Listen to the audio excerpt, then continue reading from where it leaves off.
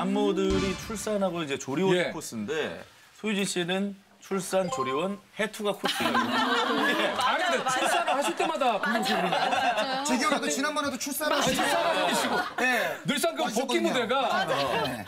첫째 낳고도 예. 크리스마스 특집. 맞아요 맞아요. 둘째 낳고는 그 아이가 다섯 때문에 나오고. 네. 셋째 낳고도 지금 바로 이제 맞아요. 곧 아이가 100일인데 아. 네, 연락이 와가지고 어, 너무 이건 이건 나가야 된다.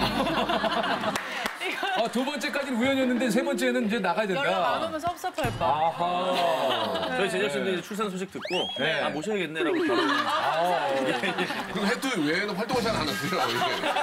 그죠? 드라마인 해투예요. 네네. 네.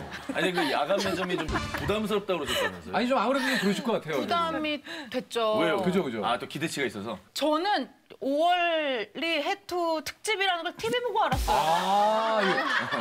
괜히 그럴 수 있잖아요. 그러니까 요리를 하는 거는 좋아하는데 왠지 야간 매점은 좀 음. 뭔가 독특해야 되고 네. 그러니까는 왠지 우리 집에 백주부도 사니까 네. 괜히 TV 하나 더 있을 것 같고 아, 왠지 모르게. 거. 근데 뭘 부담이 있으세요? 뭐 마- 맛보는 사람이 우리 있는데. 우리는 웬만하면 맛있게 먹거든요. 윤아 씨세 분이 좀 비슷하시죠? 아, 비슷하죠. 초딩으로 맞추고 있죠. 네. 초딩 6학년으로 딱. 쉽고 쉽게 따라할 맞습니다, 수 맞습니다. 있는 그런 걸로 하고 이제 해외에 있는 남편한테 컨펌 받았어요. 아, 그래요? 이런 거 어때? 나 해투 나가는데 했더니 어, 괜찮을 것 같은데 이러길래 자신 있게 한번 들고 와봤어. 와 백주부님 도 컴펌을 아니, 얘는 사실 근데 해도 야간 매점의 특징이 뭐냐면 초간단 레시피거든요. 네, 사실 네, 네. 간단하게 해 먹을 수 있는 레시피지 막 화려하게 아무리 맛있어도 그런 건 저희들 무조건입니다. 탈락에 탈락. 탈락이에요. 되게 싫어해요. 예. 따라하기 힘들면 10분 탈락이에요. 안에 해주셔야 돼요. 10분 안에. 간단한 거예요. 간단한 예, 걸로. 못 기다려야죠. 예, 지금 소유준 씨는 진짜 그 셋째를 얼마 전에 또 출산을 하셨어요. 둘째하고 이게 또 셋째는 이게 또 다르지 않습니까? 근데 셋을 막 다 데리고 다니기 너무 힘들 것 같아요.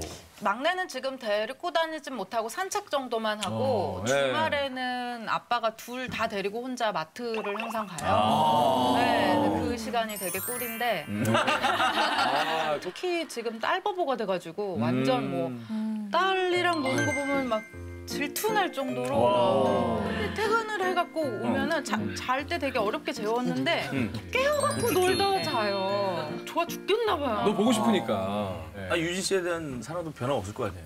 아니 좀 변한 것 같아요. 되게 많이 갔어요. 진짜로? 네. 뭐 옛날엔 애들 다 자면 그 고요한 시간이 너무 좋아서 둘이 와인도 한잔 하고 오늘 뭐 했어 이러면서 그 시간이 우린 되게 좋아하거든요. 좋죠. 근데 나는 이제 좀 왔다 싶으면 와인도 까놓고 기다려요. 그러면은 조르륵 해서 안 나와요. 왜 이렇게 오래 씻지 진짜 이러면 생기겠다. 자는 딸을 깨워서 깨워서. 울고 있어요. 어. 아니 혹시 혹시 저 넷째도 계획이 있습니까? 그게 뭐 계획하에 그런 건 아니겠지만 또 와인 또 해놓고 이렇게 또 흔들어 와인이 있고 무슨 의미? 뭐 모르고 가만히 있어. 너도 곧 그게 돼.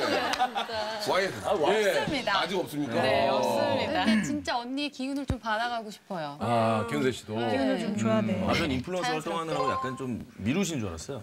아, 아니에요. 저는 결혼하고 한 2년까지는 그냥 아, 이렇게 시험시험 놀다가 그냥 자연스럽게 애가 생기겠지 했는데 음. 그렇게 세- 쉬운 일은 아니더라고요.